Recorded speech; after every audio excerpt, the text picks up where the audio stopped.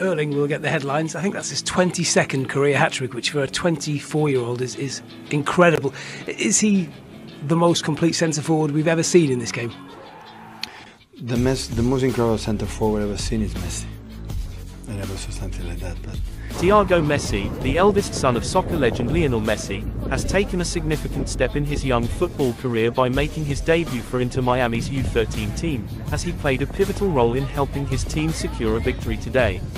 The match was made even more memorable with two football icons, Lionel Messi and Luis Suarez, present to support the young star from the sidelines. Both Messi and Suarez, known for their incredible careers and close friendship, were there to cheer, with Messi having completed his own individual training session on the pitch just before the game. This moment clearly reflects the deep-rooted passion for football within the Messi family, as Lionel Messi continues to inspire not just fans around the world but also his own children. Messi! Messi! Messi! Messi!